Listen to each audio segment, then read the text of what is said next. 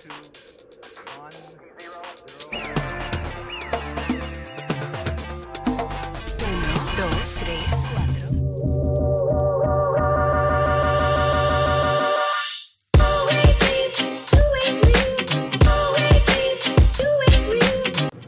back guys sa aming channel.